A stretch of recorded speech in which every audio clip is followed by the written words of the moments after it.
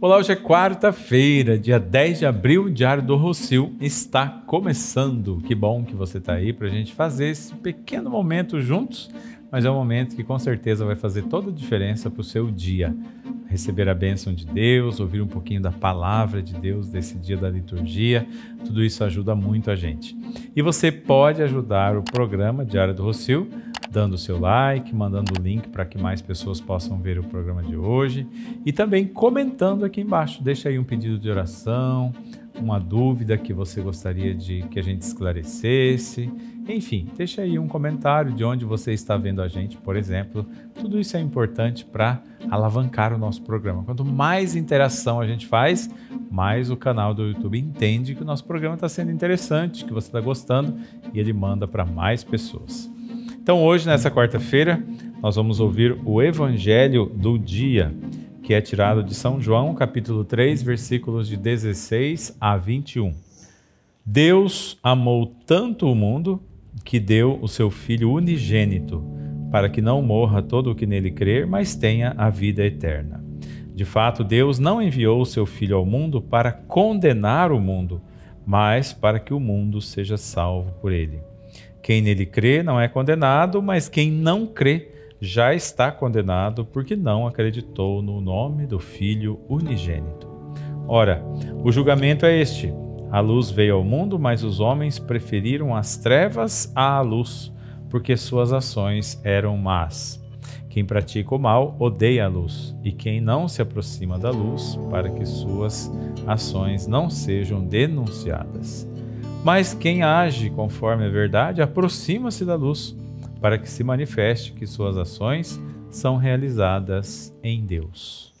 Interessante, o começo desse texto é muito bonito, eu vou até reforçar aqui. Deus amou tanto o mundo que enviou o seu Filho único, para que não morra todo aquele que nele crer, mas tenha a vida eterna mas o versículo seguinte também é muito bonito. De fato, Deus não enviou seu Filho ao mundo para condenar o mundo, mas para que o mundo seja salvo por ele. Interessante a gente pegar esse pedaço, porque às vezes tem até pregações, sabe? Muito triste ouvir isso, mas tem pregações que falam assim: que Jesus veio para te julgar, para te condenar, porque parece que é uma coisa assim horrível. Não, Está escrito aqui, é texto bíblico do Evangelho de São João. Deus não enviou o seu Filho ao mundo para condenar o mundo, mas para que o mundo seja salvo por ele. Portanto, não se sinta longe da salvação, se sinta resgatado por Jesus Cristo. Ele não derramou o sangue dele na cruz em vão, ele veio para a nossa salvação. Agora, se você não quiser isso, se você fizer a opção de não ser de Jesus Cristo, daí é outra coisa. Eu estou dizendo que ele veio para salvar a todos. Papa Francisco tem insistido nisso.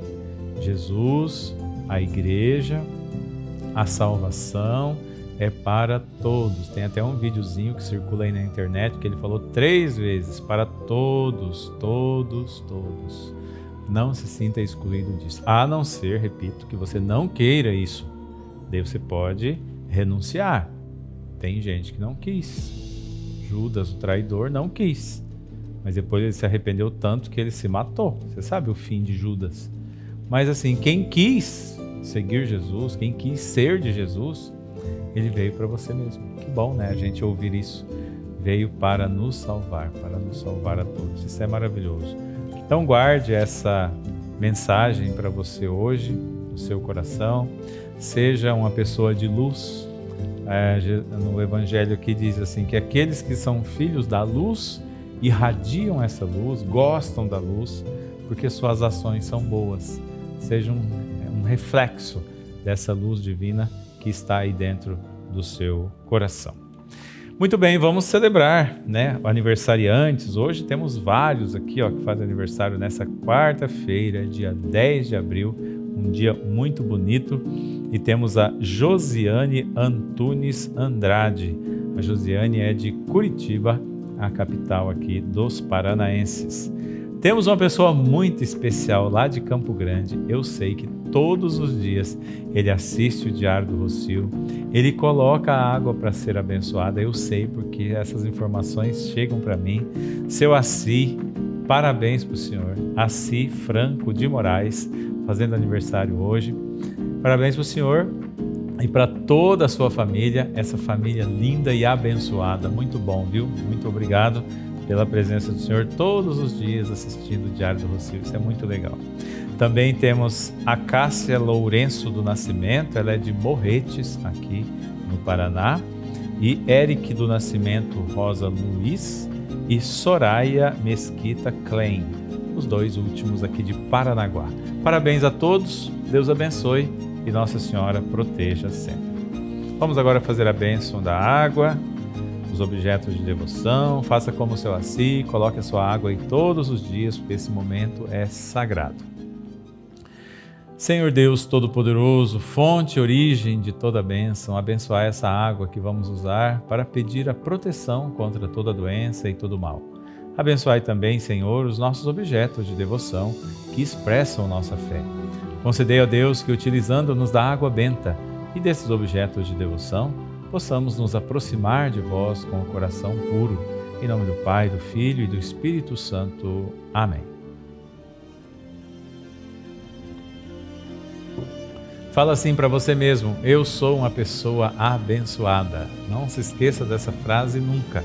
Você de fato é uma pessoa muito abençoada. Jesus veio não para te condenar, mas para te salvar. Isso é maravilhoso. O Senhor esteja convosco, Ele está no meio de nós Desça sobre você a bênção de Deus Todo-Poderoso, Pai, Filho e o Espírito Santo. Amém. Grande abraço, fica com Deus e até amanhã, se Deus quiser.